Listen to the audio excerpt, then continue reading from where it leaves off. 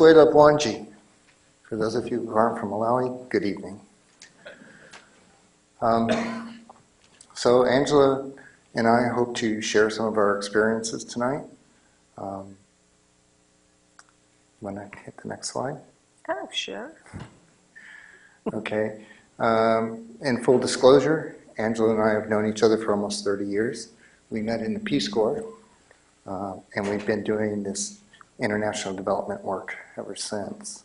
So this was us in Kailahun, Sierra Leone, where Angela came to visit me. And for those of you that don't know, uh, Kailahun, Sierra Leone was in the news recently. It was the first and the worst to take the hit of the Ebola outbreak. So there we were 30 years ago.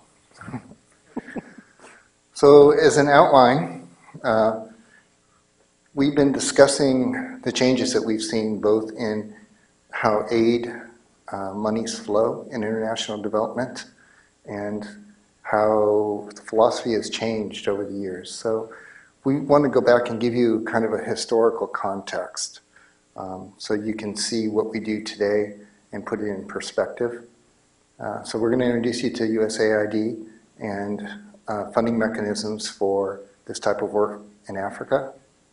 Uh, then we're going to talk about food security and economic development, what it really means. Uh, then we'll share some experiences from uh, 30 years ago when we were in Peace Corps. Uh, and then some of the recent work that we've done in Kenya and Malawi, if we have time. And assuming that we get past that, we have what we put up here is thoughts and footnotes, which will really just be kind of exchanging with all of you, um, sharing stories that come up, and then open it up for questions. So, why is aquaculture, what is food security and economic empowerment? Uh, what does all that mean? Well, to put it in context, I have a quote here from World Fish that says In the developing world, more than 1 billion people obtain most of their animal protein from fish. And more than 800 million, again, almost a billion people depend on fishing and aquaculture for their livelihoods. So that really speaks to both food security and economic empowerment. So, from a historical perspective, USAID is the lead organization for um, dispersing international development funds. Uh, it was originally created in 1961. It was an initiative by President Kennedy. And what I'm going to do is I'm going to walk through kind of how it's evolved over the first 50 years of its existence. So in the 60s, it was really created as kind of a Cold War mechanism where the philosophy behind it was we would go over and engage with people overseas and show them how superior capitalism is to communism. And so the original projects were to really engage these people and show how powerful we were. So the big projects focused on infrastructure, such as building airports and bridges and highways. And they were really big projects, very costly. Then in the 70s, there was more of a shift to the basic human needs. So food, nutrition, health, education, human resources development. How can we empower people? Now, this is at a time where there were uh, a lot of famines going on. Uh, also, was a time where, particularly in Africa, there was a sense that there was uh, an anti-American feeling. Um, 70s, you know, the African National Congress, and that it was a very tenuous time. The Peace Corps was created in the 60s, and Peace Corps and USAID have worked very closely on development projects. And I can't say that they go exactly hand in hand, but it was kind of a two pronged process where we would show our economic power, and then on the other hand, get Americans in there to engage with folks and show them that we aren't just the ugly Americans, that we do have a moral capacity toward, to us. Humanitarian humanitarian, okay, whatever. And then in the 80s, uh, it shifted again and it was turned to markets. There was a lot of private sector development. I know in Sierra Leone, where I was at, they had established these rural banks where farmers could come and uh, get loans to be able to expand or to get their products to market. Uh, and that was a USAID funded uh, thing. And then there was, again, a shift back towards agriculture, away from the big infrastructure projects towards agriculture. Again, as times, you know, as times changed, there was a shift again to sustainability and democracy. Um, where the focus had been in agriculture on single commodities and increasing productivity, there was a realization that, well, it's fine to grow these things, but can we get them to market? Can we get them to people who need them? How do we increase, you know, economically? How, how do we empower these people? And then there was a greater reliance on non-governmental organizations because they have the infrastructure and the ability to get out and reach people better than a big cumbersome agency. Uh, again, in the 2000s, a lot of this had to do with uh, um, particularly, you know, mid 2000s and such, the events that had evolved after 9 11 and the wars in Iraq and Afghanistan. Again, there was another shift. Um, and also, the budget for USAID really shrank. And so there was a sense that there wasn't enough money and that we could make things more efficient by going to the use of contracts and grants, which is what we use today. And uh, was a big focus on food security, which is what Angela's going to talk about to a great degree here in a little while. In 2010, the president uh, started an initiative. It was one of his three big initiatives that he's done in global outreach.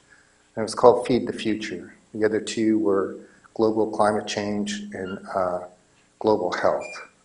Uh, so in the 2010 presidential initiative,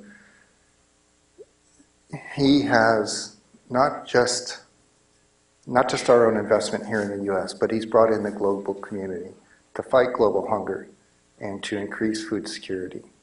Um, the focus now is on small holders, small farm holders, particularly women. So in the philosophy of USAID, you'll see this again and again. There's a lot of empowerment of women.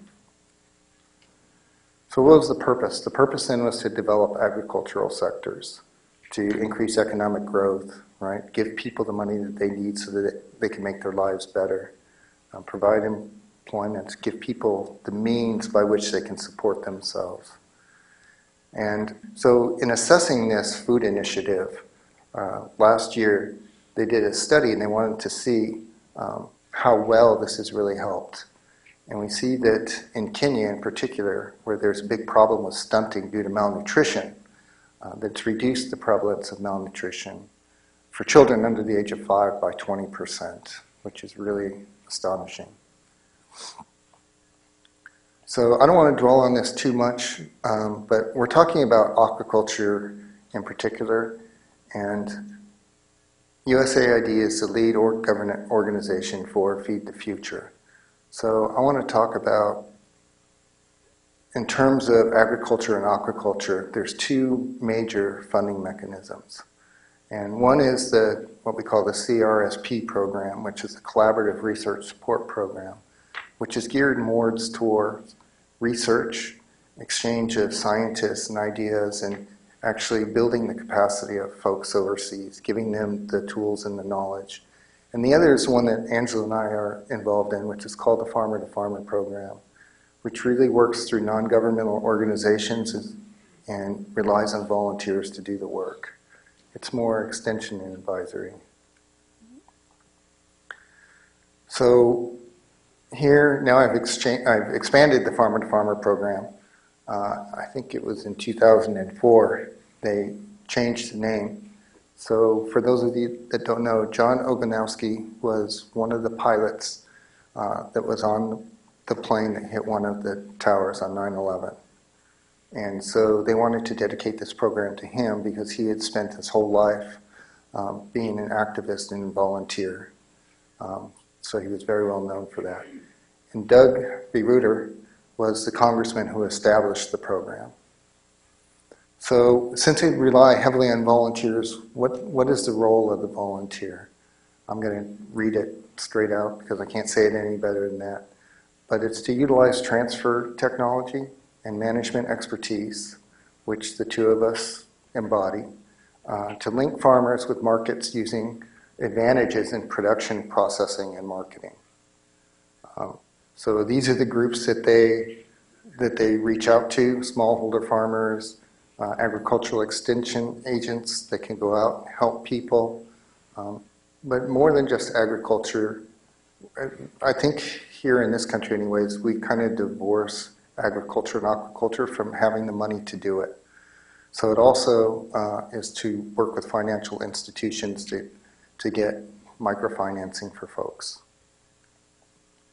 So the idea is to develop specific market chain, market value chains. And here on the right, there's an example uh, from in Malawi. There's three very big uh, value chains there. You have soy, groundnut, or peanuts, uh, as well as vegetables. But you see, if you take a look at the focus areas, there's much more than just agriculture involved. There's uh, natural resource management, producer organization development. So those cooperatives and, and collaboratives, uh, there's uh, programs in place to, to bring those folks together and teach them how to work as a unit. Uh, marketing and processing and again, financial uh, services. Okay. So in assessing how the program, the program was established, uh, the original Farmer to Farmer was established in 1985. So in assessing and how well they've done, since that time, they've reached about 1.2 million farmer families. And for statistically, they estimate that there's five people per family. So you're looking at about 6 million people, families. Now with that, there's other services and stuff that directly affect people. So they, they feel that this program has reached 47 million people. So Angela and I have both worked with uh, Aquaculture Without Frontiers, the one up in the left-hand corner. Aquaculture Without Frontiers is a is a volunteer-based organization. Uh, it's a nonprofit organization. VEGA, Volunteers for Economic Growth Alliance, is an alliance of a number of different of these same types of organizations with like-minded um, values. And so I put this up here because if you take a closer look at a lot of these, it's not just about agriculture and aquaculture. But these reach a bunch of different sectors. There's engineers, there's economists, there's one of them is a uh, credit, uh, an association of credit unions that works on microfinancing, getting money for folks. But it allows us to partner with all these people to attack the problem from many different angles. In terms of the farmer to farmer program, USAID has identified these organizations here to be core implementers, which means these are the only ones that the money flows through to be able to do these. I put this up here because Angela and I have both worked with CNFA and Vega.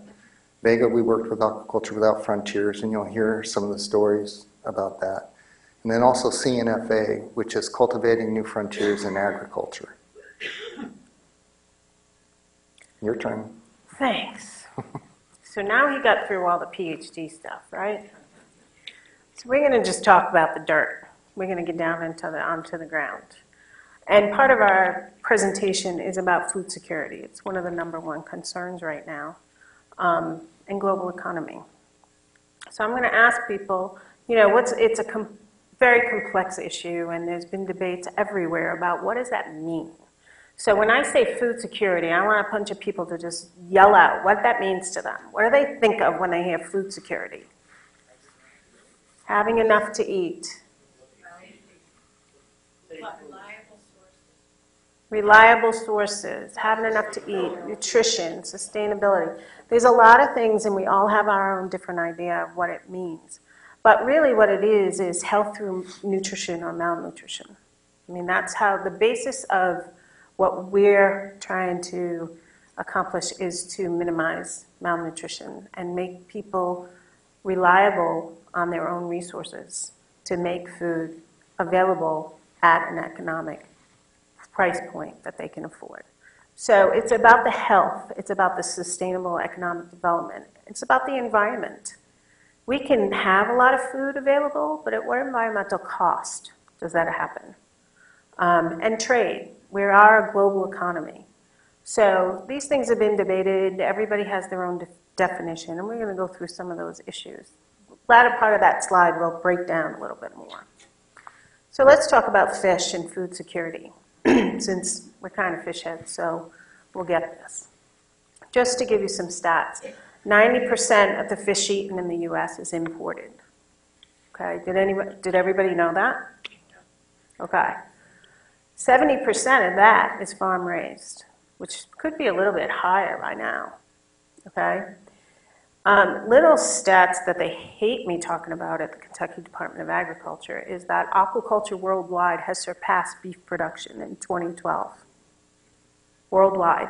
We are growing more fish than we have cattle in the world.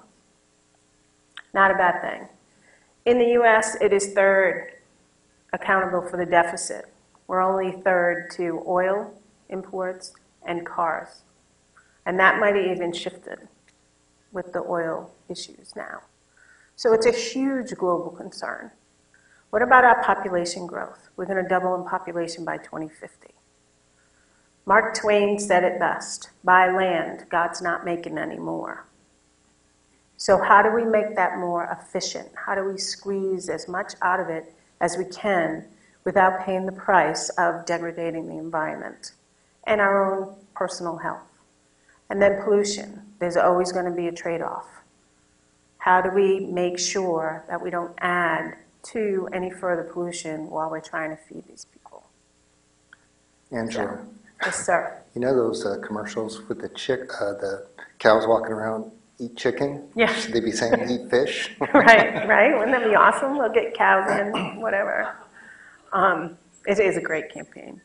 And that's one of the things, you know, not to hop on any of the other commodities because we all are, you know, we eat, sleep, and breathe food, right? Food is the global economy. It's, it's the thing we do at celebrations, it's the thing we celebrate, we share with people. It's the most common form of communication. You cannot speak one language, one word of a language, but somebody can offer you something to eat, and you have that natural bond. Africa is very prevalent in that. Look how big that continent is. It's huge. How are we going to make sure that people are going to be able to survive and develop with the right protein sources to develop that brain, to help those kids not die, 50% of them by the age of five because of malnutrition. So those are the issues that we're, we're dealing with, and we think that aquaculture can surely help relieve some of those problems. Okay, so what's your definition of food security? We already went through. Well, the World Food Summit says when all the people at all the times have access to sufficient, safe, and nutritious food to maintain a healthy and active life. That's the golden parachute. That's what we would all strive for. Do we have it now? Absolutely not. Shame on us. But another one both physical and economic access to food that meets people's dietary needs, as well as their food preference. We talked about this. One of the things in Peace Corps, which was a big joke, I was a third year volunteer, we did three years, was the joke that a first year volunteer would get a piece of bread and go, oh, there's ants, and not eat it. A second year volunteer would go, eh, there's some ants, and eat it. A third year volunteer would go, yay, ants. So it's all relative about the preference. Fish are historically and notably the most, the best conversion factors. They can take 1.2, 1.5 pounds of feed to make a pound of growth. The only species on Earth that are better and more efficient at that are bugs. And we're not there yet. Are we? Not yet. Not yet. We're working on it. However, cricket meal last week at Trader Joe's was $50 a pound. And there's a market for it. It's high protein, efficient. We're working on it. Okay. So Marty and I did some work in, Ken, in Kenya. Um, I put this slide up just to show where we were. We were kind of did some work in Eldoret, okay, big city. big city, not as big as Nairobi, and some work down on the coast in, in uh, outside of Malindi. Okay? So when we say markets, what comes into your head when you think the word market? Okay? This is our American market. Okay, fruits, vegetables, beautiful, grade A. You know, how many choices of bacon do we really need? And yogurt. This is a typical market where we were in Eldoret. And that's a major capital city. Okay? That's the market that we have to deal with. This is the fish section of the market. Let's talk about food security. What about nutrition and safety? We're a global economy. Where's the food coming from? So, this fish, here's your ready to eat meal. Take it home and feed it to your kids. It's not that nice little clear container of meatloaf you get at the Kroger deli. Okay? That's your ready to eat meal. Okay? Um, put a fish on a stick and you got a market, right? Squish the guts out and you got a processed fish.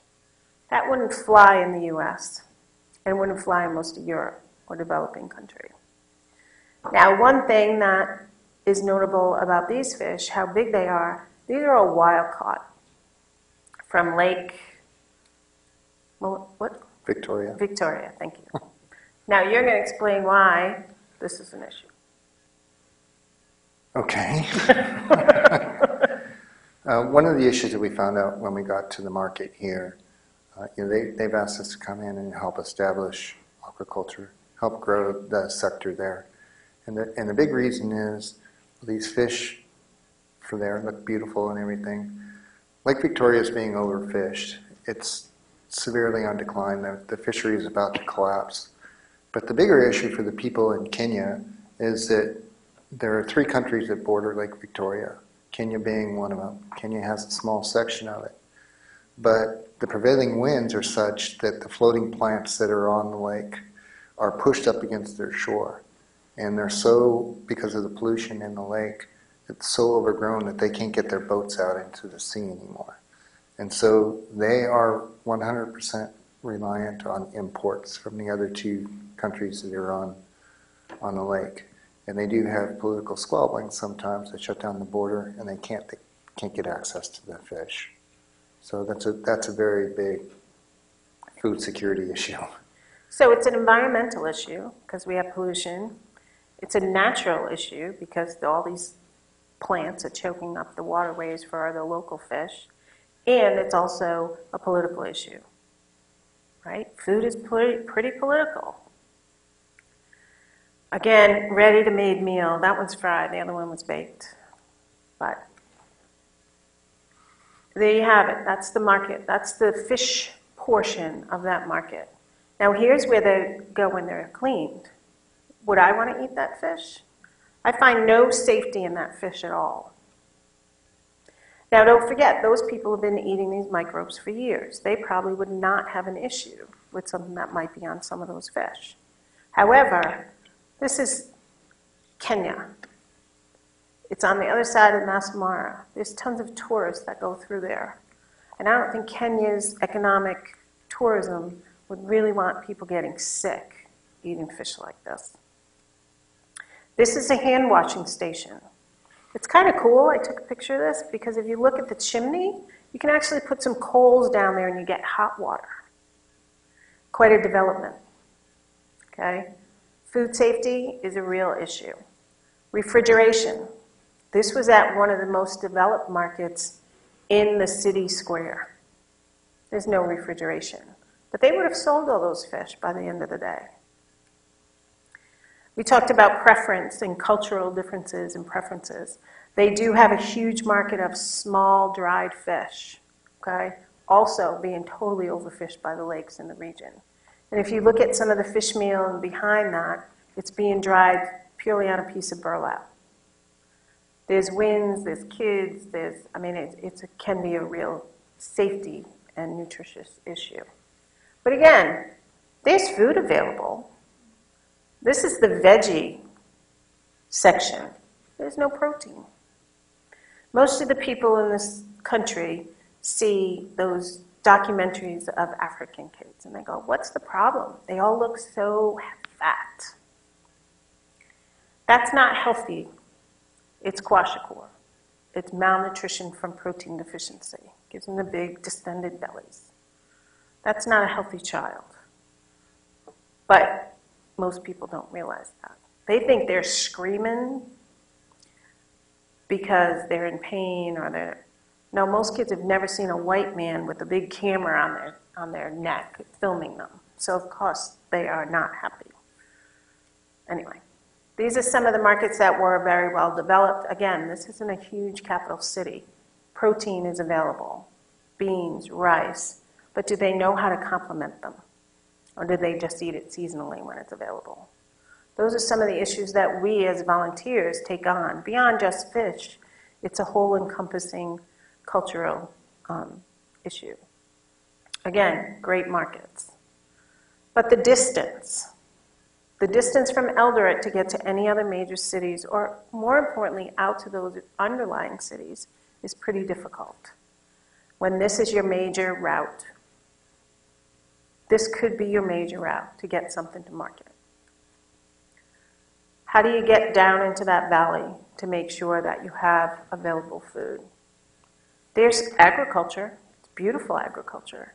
We couldn't decide if this was wheat or soybeans, but it's cultivated. So it's there, but where's it going? Is it being shipped out for fish feed or animal feed? Is it going into to being shipped to China for tofu? We don't know. But it's being it's being cultivated. We're going to talk, talk about a little distribution because that was one of the issues that was on that slide. And I love this slide because everybody has really clean cars and trucks.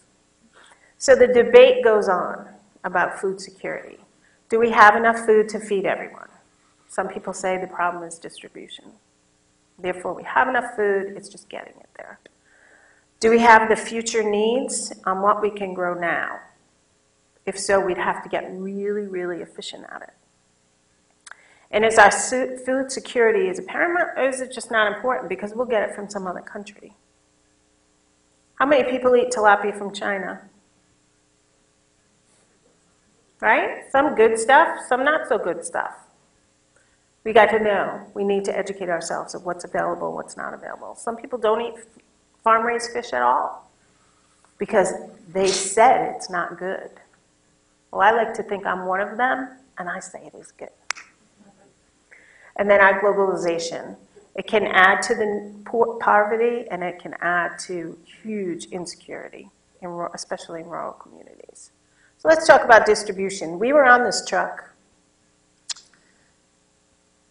What do they spend? 20 minutes finding the perfect rock? 45 minutes. to find the perfect rock to jack the truck up, even though there was a jack on it. But that wasn't their way of dealing with it. Now, that little Masai Mara farmer, that is his way of distribution. He's going to walk his livestock to market. Okay? What's the level of production? There's some distribution for you. Can you see what that is? Goats tied to the roof of a lorry. Okay? It works, gets them there. Efficient, safe. What? Strapping kids to the roof. Strap those kids on there too. or you just walk the whole flock, right? However, we're going to do it, we need to get stuff to market. Okay? Global trade. This guy's not dealing with global trade. He'll be lucky if he gets a good price for some of that and is able to sell it. Again, that's a major road. How do we move stuff there? Well, obviously, somebody figured it out. He's getting it from A to B. And it's a long road. It's a long, long road to, to look at third world countries and making sure that their food security is going to be guaranteed, or at least tried to be guaranteed. This road was a huge uh, commuter road from Nairobi to the Masai Mara. The agricultural products on this road were beautiful and very abundant. However, most of these mamas would sell everything they grew rather than feed their village or their family because that's where the market was. It's an issue, it's an education issue that we all have to deal with. Here's a good one food safety. Some nice slaughtered animals hanging in that nice warm uh, butchery shop. Look, she's hiding her eyes, I'm sorry. But that's the way life is there. We can only do these volunteer programs to try and help them bring their level standards up. They don't want to be Americans, and we shouldn't push that on them. We've done not such a great job as Americans, but to help them realize where they can do better in their own culture. Here's our meat transport guy. Pretty safe. Here's our milk transport. Okay? No, that's milk. Mm-hmm. And then there's beer. That's always a good thing. So we, as volunteers, go into these places and we don't just look at the fish aspects, we look at the whole community. And that's kind of where I think these projects need to go. Uh, Stockyard, pretty good. I don't see the big trucks wailing them off to a food lot, but, and then some soybeans. Because it's all about distribution, it's all about population. It's all about empowerment. How do we get people to feel that they have the right to develop how they want and feed their families well and their communities? So now we're going to talk, we're going to digress a little bit. We're going to go back to when we were friends. Oh, I mean 30 years ago. When I was a volunteer in Zaire. I spent three years in Zaire, three plus years. And I can honestly say that they taught me way more than I ever taught them. And a lot of the projects I worked with, well, I'll just tell you the one story. When I went for my Peace Corps interview, the recruiter said, after this long 40 minute interview about questions and what I knew about aquaculture and what I knew about development and blah, blah, blah, blah, blah, said, okay, here's the last question. If you walked into a village and all the villagers, all they wanted to do was put up a flagpole, what would you do? And I said, well, I'd help them put up a flagpole and I'd be talking about fish culture the whole time. And he said, when do you want to go? So some of those programs that I was lucky enough to work with was I realized along, early on that when you talk about third world, how many people here were involved in PTA when the kids were in school? Okay, how many are members of the golf course or you know some kind of yoga studio, something? There's no memberships there. They don't have any group involvement. I used to call it the buffer system. There's nobody to talk to. You go into your field, you farm, you feed your family, and you try and survive. Okay? In Zaire, we were very successful in the fish program because historically the men had been hunters and gatherers. There wasn't any more wildlife. So, what we did with the fish program was we gave them back the ability to feed their families protein. We gave them a method in which they could then become, re-become the providers. It was awesome. There was a lot of women, though, who did not want this white educated woman to go down into the forest with their men. Okay? I'm not losing my man to that American. So the way around it was, lucky enough to be a woman working with predominantly men farmers, was I started a mama's group. And we empowered those women by teaching fish nutrition, fish farming, but also prenatal care, nutrition, health. It made them become members of an elite group of the wives of fish farmers. One of the other things I realized early on was don't let any of those fish farmers sell their own product. Because everybody in their family, it's community. Oh, Papa, I'm hungry. Give me some fish. Well, in those family structures, which is polygamous, you have to give them fish. So somebody in that organization, that fish farmers group, would sell the fish for whoever was harvesting. And then they really realized how much money they were making, or historically had not been making, and given it to family. So it worked out great. But those were some of the projects that were very successful in Zaire. But most of it, the base was to empower the people and especially the women. I'll keep. Okay, you keep it. Uh, One thing I'd like to add that you didn't really touch on, one reason that Angela was so successful as she was when she was there, is she was very good at, in collecting these people into these groups and stuff. Those people are usually the more innovative, the ones who are willing to step outside the box. And she would identify people that she called champions. And so those people, in turn, would teach other people. So where they may not want to respond to Angela or may not, Angela couldn't reach, these champions would. And so it just kind of builds on that self, on itself. Sierra Leone. Oh, Sierra Leone, okay. uh, what I wanted to do here is, I have some photographs back from when we were building ponds, and I wanted to have you see the process, what it's really like, um, and some of the challenges that we meet. So the first thing that we would have to do is identify an area that was appropriate for raising fish. And then you go in and you burn the land, get all the vegetation that you can off of it, and what's remaining, we would go in there with machetes and cut it all by hand. So you have to clear that whole area by hand. There's no lawnmowers, there's no bush No hogs, bulldozers. no bulldozers or anything. Then the ponds are dug by hand. And you have to remember you're dealing with people who, in Sierra Leone, anyways, the staple is rice there. So they feel that they need to be out in their rice fields all day to feed their family. They used to have this saying that every meal was rice breakfast, lunch, dinner, midnight snack, it didn't matter. And if you didn't get your rice that day, you hadn't eaten. You could consume a big roast, you could eat the whole cow, but they still said that they hadn't eaten because they didn't have their rice. So rice is very important. Uh, so here we've established some ponds. We see some uh, rice paddies next to it. We see some incoming water here, um, cane pipes for inflow. Uh, we had to build little aqueducts. And then you see uh, a compost pen there. So because they don't have access to fish feed to get that fish to grow, we would try to get them to encourage the natural plankton blooms inside the ponds.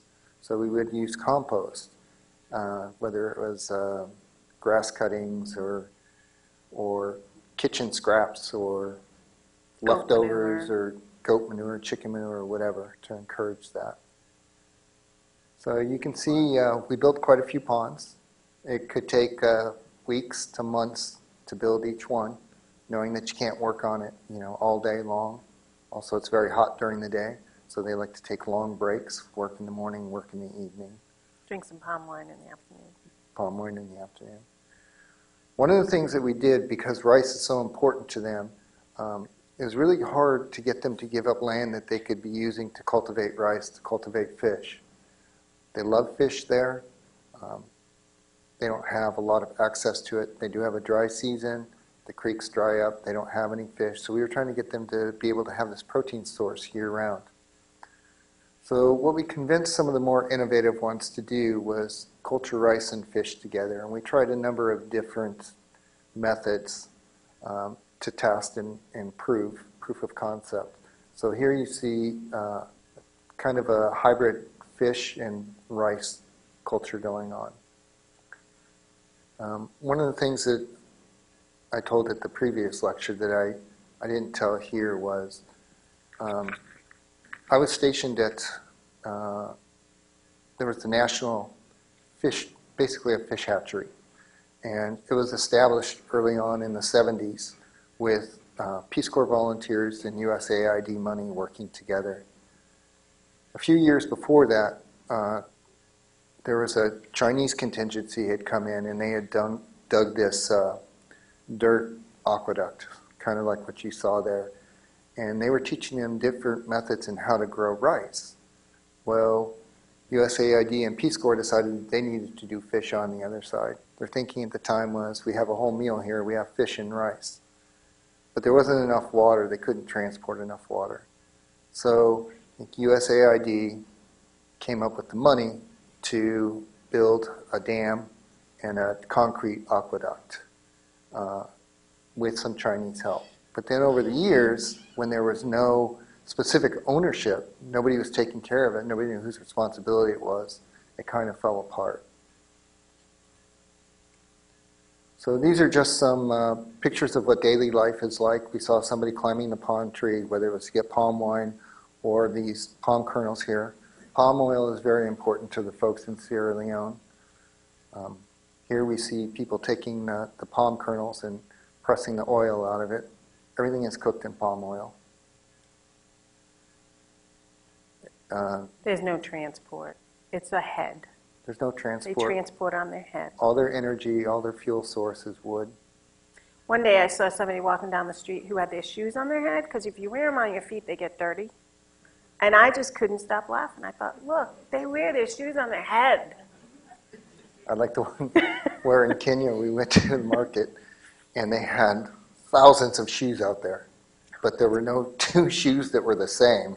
So you could buy you could buy right one and left one had to be different. Right, right. Building a house. Uh, here we're building building a house. I lived in a village that had uh, about hundred people in it, four houses. So the village was getting bigger, building another house. They'd cobble these uh, this wood together and then pack it with mud, and that's how you made the house.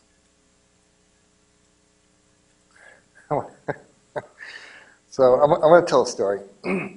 when uh, I had been there a couple months in Sierra Leone, and I was living in my village, and there was a little boy there. He's about probably about 10 years old. Very few people there could speak English, but he could because he went to the Catholic school, and so he wanted to better himself with his English. So he would come and talk with me, and we would chat. And after a few months, he says to me, it's one night, the sun's going down, and he says, What's your African name? And I said, I don't know what you mean. He said, Oh, yeah, anytime Peace Corps comes around here, and all white people were Peace Corps. Um, so anytime Peace Corps come around, we give them a name. And I said, Well, I don't have one. He says, I'll give you one. Your name is Raka. I said, Oh, okay. That's great. What does it mean? And he said, Oh, big and strong like you are. I said, Okay, I like that. Yeah, I'll live with that. So from then on, every village that I went to to go talk to fish farmers, potential fish farmers, I'd go into the village and I'd introduce myself as Raka. And everybody get a big smile on their face, and there'd be lots of laughs, and they're patting me on the back, and they'd bring food, and everybody in the village would come, and so we would just sit there and talk, and you know, got quite a few farmers that way. Well, when I was done with my tour, I went traveling, and I went to Israel um, with this this friend of mine. When we came back, I was buying her a Christmas present, and I went into a bookstore, and I saw this book on uh, that takes place in Israel, and there was this Israeli kid who lived, a Jewish kid who lived in a Palestinian neighborhood. And he's describing his story, what it was like growing up, where all the Palestinian kids would throw rocks at him and call him Raka.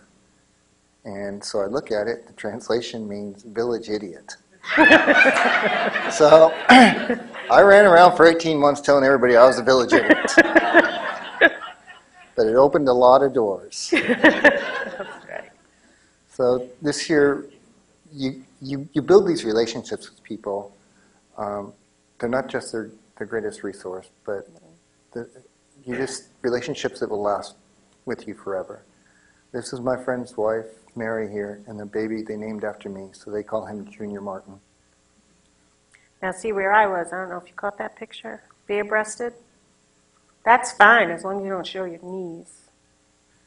And here's some of the kids in the village, you know, they don't have little Game Boys or players or whatever. So they invent their own toys. So here they have a stick that they run behind and they push on the ground, and there's a, that little uh, grass blade that spins as they're running. And to them, they, they'll do that for hours and hours every day. Uh, so what we thought we would do here, and I know we're kind of running a little bit late, but very quickly we could run through uh, some of the work that we did in Kenya with Aquaculture Without Frontiers. This was two years ago. Both Angela and I went as a team on this trip. We had two different scopes of work. We went to two different places. Here we were at the University of Eldoret. There was our taxi. There's the taxi queue. Um, the University of Eldoret was a little more advanced, so they have a fish culture station there where they do some research and, and teaching. Um, we talked about the two funding mechanisms from USAID, one being the CRSP. Well, they're the ones that built this research station here. So the first thing that they wanted us to do was an assessment of their program, how well we thought they were doing, give them some ideas of where they could do better. So we went out and we assessed their program. Here I thought we were going to have some surf and turf because we have some a cow about ready to fall in the water there, trying to get a drink. Uh, so you can see they had a number of ponds, various different sizes.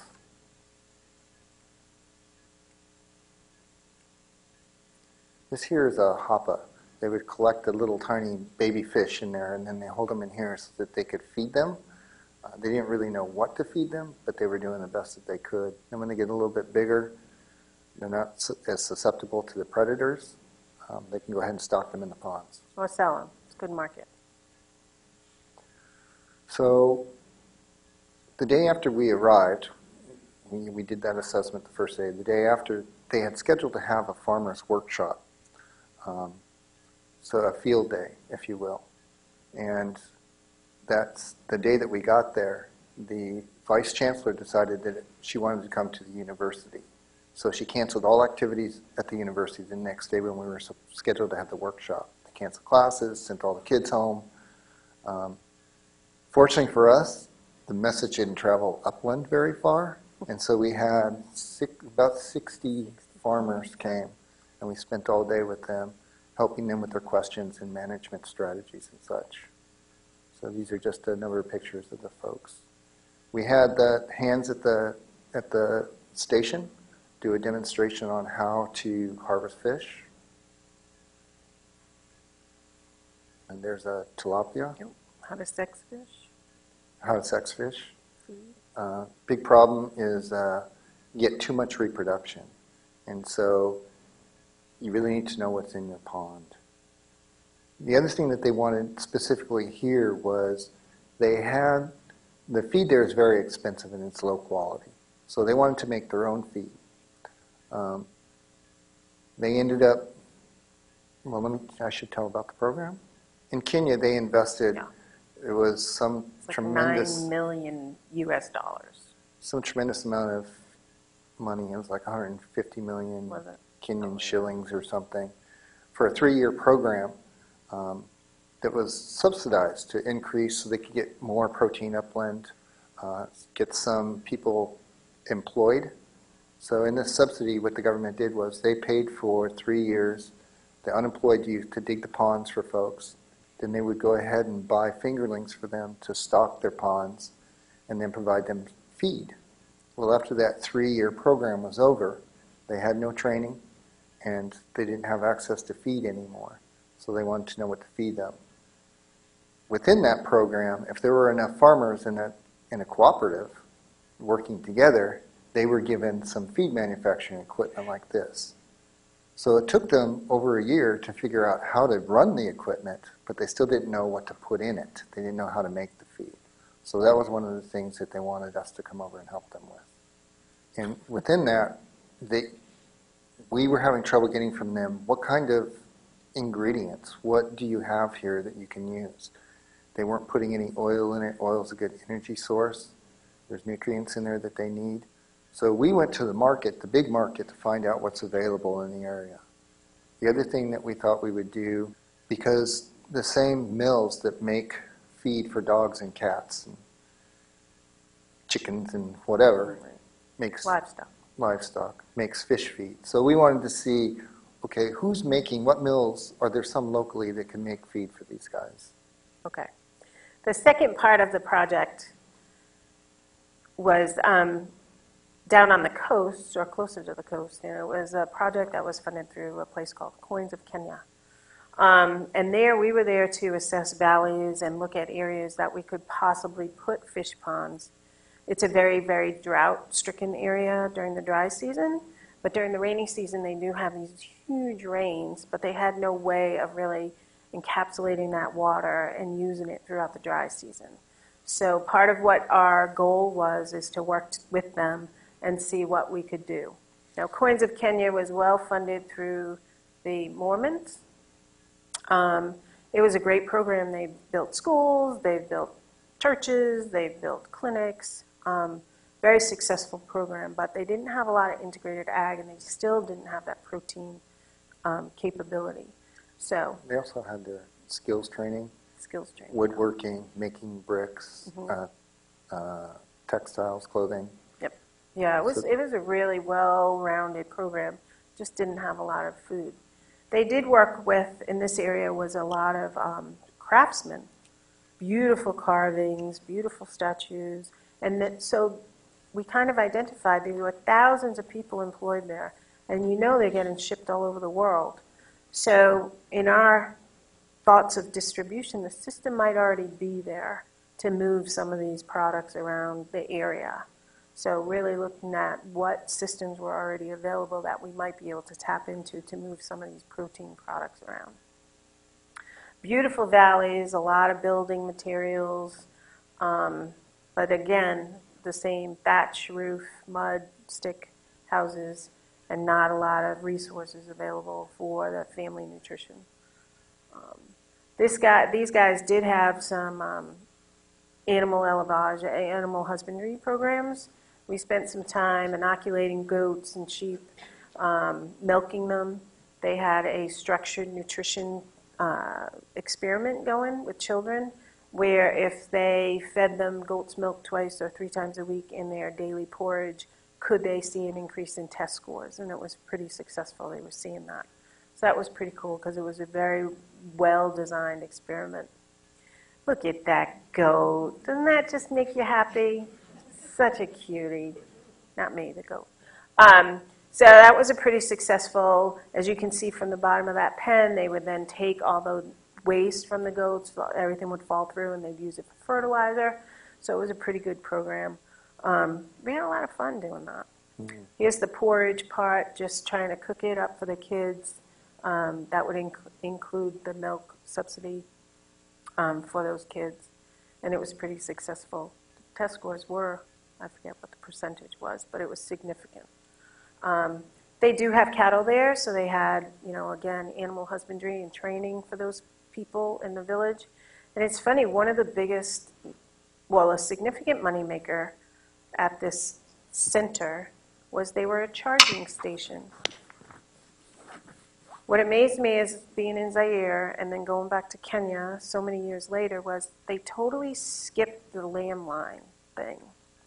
So you'd have these mamas in the villages, babies strapped to their back, talking on their cell phone. Okay? But not everybody has electricity. So the center figured out they could charge a small amount of money and be a charging station. Now, recently I just read an article that in Kenya they are using text messaging to do fish farming modules, education. Send out a text, hey, feed, blah, blah, blah. So it's pretty cool. We're using more technology. And they can alert people.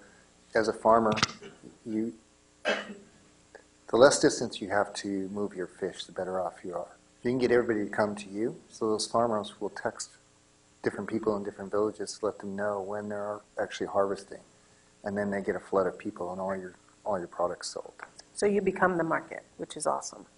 But one of the great things in this area too was there are a lot of empowered women. Marty had mentioned that I like to coin them the champions because they are the ones who will drive that economic engine. And it's, it's usually mamas. It's usually the mamas in the village. These groups had a chicken cooperative, egg cooperative. This is something they developed through extension where um, they use just boxes lined with charcoal and they would water it. They would spray water in on it every day, and it would keep the eggs cool enough where they could hold them for up to three months. So without refrigeration. So little things like that, and helping those people get that words out. Again, the chicken co-op. These mamas were great.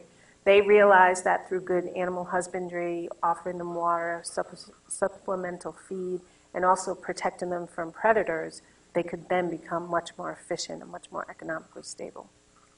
So where she showed you those chickens there, if I can interject here, um, They, they use it, they employ a model there that's like, I don't know if you all know Heifer International, where they will, they give people products. So they might, somebody applies to belong to this cooperative, and they might start you with four chickens.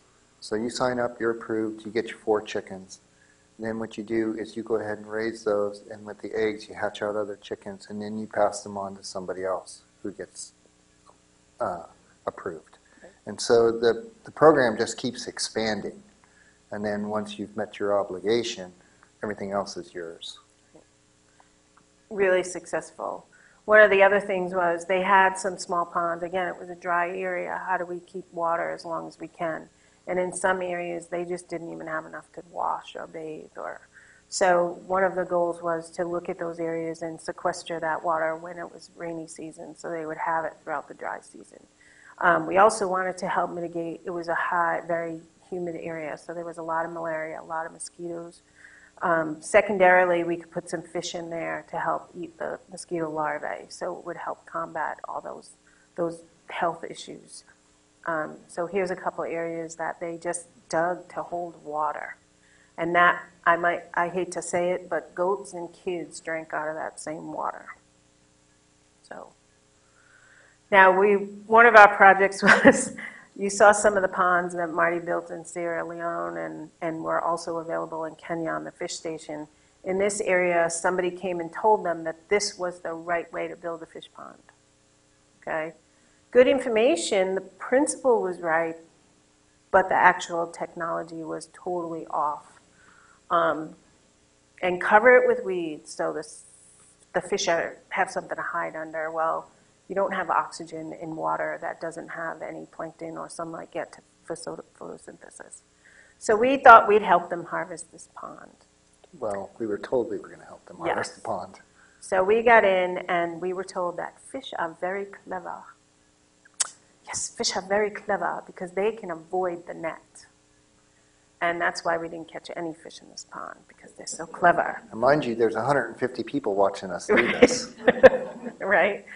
Um, yeah, it was pretty sad. But I think we were able to help them learn a different methodology that would be much more efficient and much more. Uh, again, there's those women. It was the mamas group that had those ponds, and by empowering them, we can we can help things change there. Because they do the farming, they're in charge of all the food, okay? And they make most of the financial decisions day to day. The men will let you think that they make them, not the case. And let's face it, if mom is not happy, nobody's happy. So, polygamous society, though, maybe they'll just go get another one, but we won't mention that. Um, some of the other things they, that we try to help them is some supplemental income or another business. Can you cook some fish on the side or do something else to help with that protein supply in the area, but also make some money and get those proteins out into the smaller villages. So here's some dried fish, and before that was some cooked fish. This picture I love because everybody has a baby on their back. Those babies are what's, what's important. We need to help get protein out for that brain development and that good growth and nutrition. Um, school kids, I don't know if you want to talk about that. Oh, Awesome. well, we went to visit the school. They were all thrilled. We were there with the uh, group.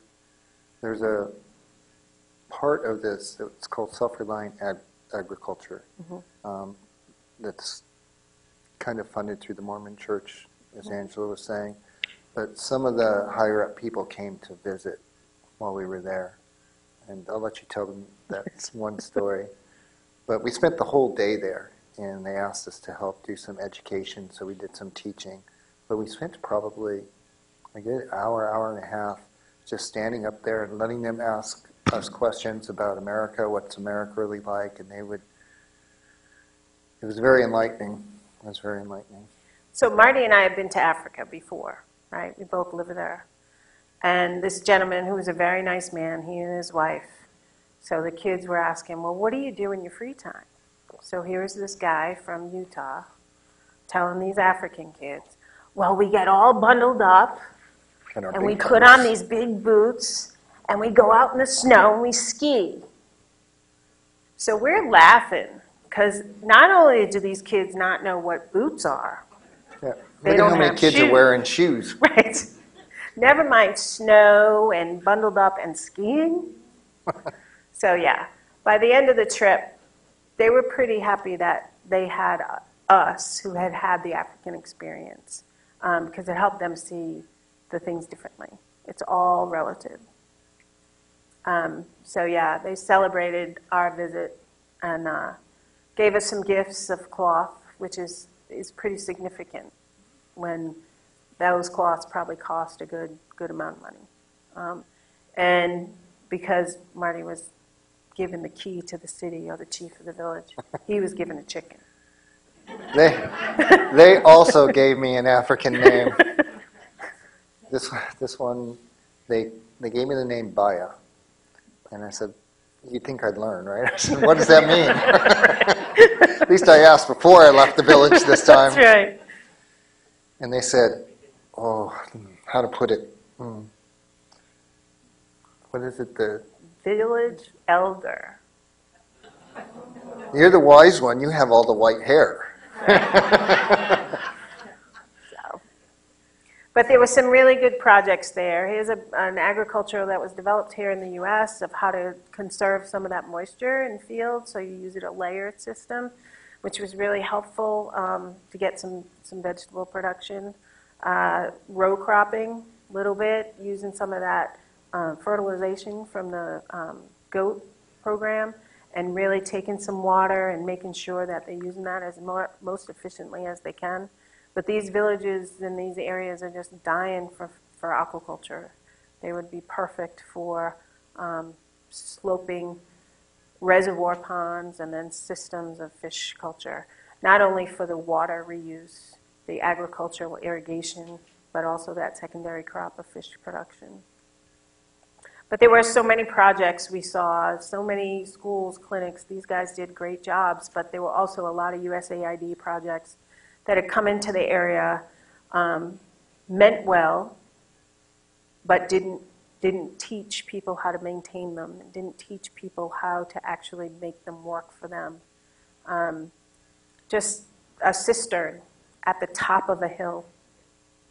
Anybody know about water? Doesn't really like going uphill. So they were dependent on pumps. Well, anytime you add anything that is required, any petrol fuel or energy or anything, it's going to break down and it's not going to work. Is it that efficient? Well, somebody probably had some big grant for a big pump. But what happens is all the stuff laid defunct. Lots and lots of money. The piping, not taken care of or stolen because somebody needed a gutter for their own rainwater. So those are the kind of things that Marty had mentioned in earlier funding that, thank goodness, the government is getting away from and really working on those farmer to farmer and educational and food security issues. I mean, these little metal placards on all these little kids' stools, gift from the USAID. It's pretty sad. sad. What's really kind of a, a shame um, in, in what she's saying, here you see a hand pump. If the hand pump breaks, or we saw one of those cisterns that was sitting empty and the kids weren't washing their hands, it's because the valve broke or a moving part breaks. Again, it's that where everybody is an owner in it, nobody takes care of it, nobody's been trained how to take care of it. So all these things sit there dormant because nobody's been trained. There were some good intentional ponds. Um, my preference is not to build a pond of rocks because they have a tendency to wash out. We like to do it with clay, and there's plenty of clay, you just have to separate it. Um, but unbelievable potential. But the potential, for the most part, is the human resource. The number one resource in all of the third world is the people. And bigger than that is the women. And that's where that empowerment's going to come from, I believe. If we invest in the people, then it will come. So we explained to them, gave them a model, showed them how instead of what they wanted to do, somebody had come in and told them they could dam the little creek that they had running through there that uh, seasonally dried out. But if they backed up enough water, then they would have water that they could carry up the hill to their plants. And we said, well, why don't you build a reservoir up on the hill and then you can flow the water down? And so we showed them how they could build these reservoirs with fish ponds below so that they could go one from the other and how that in times when they didn't have access to good drinking water, they could actually drink that water. So there's a lot of excitement there. There's a lot of those champion women who are ready to go, and hopefully there'll be more of these volunteer projects that will be able to go and, and give good um, info that'll help them live better lives and better nutritional food security. Um, so there's a lot of people involved. There's a lot of uh, organizations. Again, one I would push is Aquaculture Without Frontiers, total nonprofit. Um, that we can we can continue on some of this work, and we look towards experts in other fields too. Um, you're never too old to give your expertise. So think about that. There's a lot of opportunities there, and it's great travel. So, because who's going to make the difference is all of us and all of you.